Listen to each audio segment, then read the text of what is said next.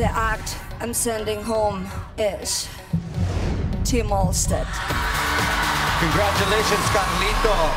You know, it, it's tough because you know I, th- I think I've been giving it my you know giving it my all every week, and uh, it's really cool to think you know back to my initial audition, and uh, and look back and see how far I've really come. You have the kind of voice where even if someone's having a really rough day, you can make them smile. Thank you so much. I grew on this show and I've met a lot of really cool people. This opportunity is amazing. You know, not many people can say that they've been on the X Factor and making it to the top 10.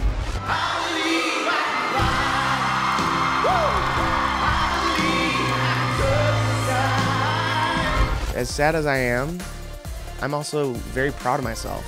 And this show has definitely brought up my confidence a lot, you know, because I, I wondered before this, like, can I, you know, can I do singing for a living? Can I do this?